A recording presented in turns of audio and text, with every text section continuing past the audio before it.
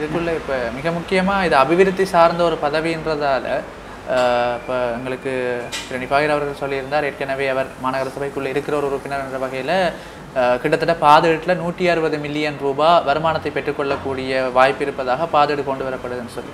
அப்போ இந்த நூற்றி அறுபது மில்லியன் ரூபான்றது யாழ்ப்பாணத்தை பொறுத்த வரைக்கும் மாநகர சபைக்கு போதுமான ஒரு நிதி தானா இல்லாவிட்டால் இதில் என்னென்ன விஷயங்களை வந்து நாங்கள் இன்னும் அதிகப்படுத்தக்கூடியதாக இருக்குது நிதியை இன்னும் கொஞ்சம் அதிகரிக்கிறதுனா என்ன செய்யும் யுத்தத்தின் பின்னரான அபிவிருத்திக்கு அவர் சொல்கிற நிதி ஒரு நான் நினைக்கிறேன் யானை பசிக்கு சோளப்பொறி நாங்கள் பெருந்தொகையை கொண்டு வர வேணும் அதை வெறும் வரி அறவீடுகள் மூலம் நாங்கள் நிறைவு செய்ய முடியாது. எவ்வளவு எதிர்பார்க்குறீங்க? இல்லை இல்லை அந்த திட்டங்களை நாங்கள் அஹ், சம்பந்தப்பட்ட நிபுணத்துவ இழந்த மனமாக சொல்ல முடியாது.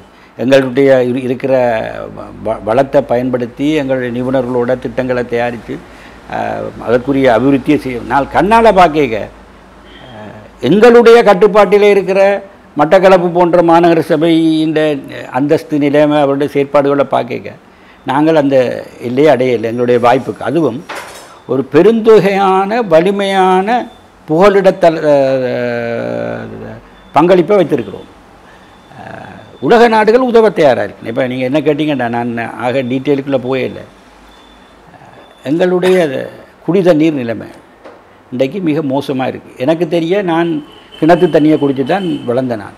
இன்றைக்கு எந்த வீட்டிலையும் இப்போ கிணத்து தண்ணி குடிக்கிறதில்ல காரணம் என்னென்றால் எங்களுடைய கிணற்று நீர் மிக மோசமாக ப- பழுதடைந்திருக்கு. அது காரணம் சரியான கழிவகற்றல் முகாமைத்துவம் நிலத்துக்கு கீழான கழிவகற்றுகள் முகாமைத்துவம் எங்கள்கிட்ட இல்லை. அந்த முறைமை இல்லை.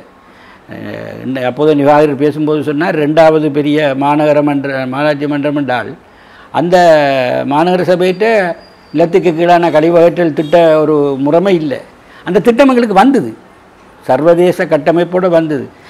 அரசியல் பேசினால் அதை நாங்களே எங்கள் தலையில் மண்ணள்ளி போட்டு குழப்பினோம்ன்ற நிலைமை இருக்குது இதை நான் நினைக்கிறேன் ஒரு பல விடயங்களோட தொடர்புபட்ட திட்டமாக வெளிநாட்டிலிருந்து பெறாமல் யாழ்ப்பாண நகரத்துக்கு என்று நாங்கள் பெறக்கூடிய வாய்ப்பு இருக்குது அதை இந்த முதல்வர் பதவியில் இருக்கிறவர் முன்னெடுக்கக்கூடிய தகுதி நிலை வேணும். அதுக்கு ராஜதந்திர ரீதியில் நீங்கள் தூதரகங்களோடையும் தூதுவர்களோடையும் வெளிநாட்டு தரப்புகளோடையும் நம்பிக்கை பெற்றவராக இருக்க வேணும் அரசியல் தலைமைகளோட நான் சொல்கிறேன் என்றால் ஜனாதிபதியோட பேசணும் பிரதமரோட பேசணும் உள்ளூராட்சி சபை அமைச்சரோட பேசணும் நிதியமைச்சரோட பேசணும் நிதியமைச்சின் செயலாளரோட பேசணும்.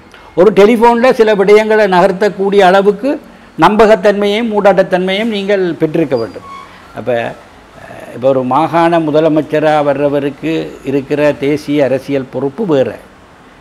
மாநகர சபைக்கு தேசிய அரசியல் பொறுப்பாக இருக்கிறவர் இனத்தினுடைய தேசிய விடயத்தை பிரதிபலிப்பவர் என்றதிலும் விட அதுக்கு விரோதமாக போகாமல் இந்த விடயங்களை செய்யக்கூடியவராக இருக்க வேண்டும்.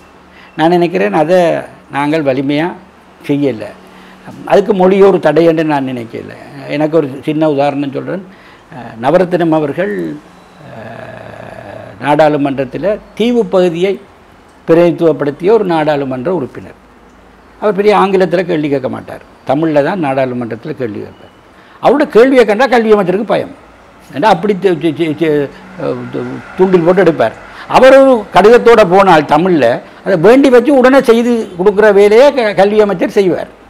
அந்த நம்பகத்தன்மையை வளர்க்க வேணும் அதுக்கு உங்களுக்கு மொழி தேவையில்லை. ஒரு ஆளை போய் நீங்கள் கட்டி தழுவி உங்களுடைய காலங்காலமாக நீங்கள் வளர்த்து கொள்கிற உங்களுடைய தொடர்பாடல் முறைமை பல தரப்போடையும் ஒரே தரப்பில் என்ற முறைமை உங்களுக்கு உதவும். நான் நினைக்கிறேன் இந்த விடயத்தில் ஒரு அளவுக்கு எனக்கு அனுபவம் இருக்குன்னு நினைக்கிறேன். ஊடகவியலாளராக பல தரப்பின் நம்பிக்கையிலையும் நான் பெற்றிருக்கிறேன். இந்த மாநகர ம மண்ணுக்கு என்னாலான்ற முயற்சிகளை நான் இந்த முறை ஒரு ஒரு வட்டார உறுப்பினராக இருந்தும் கூட செய்ய முடியும் என்று நினைக்கிறேன்.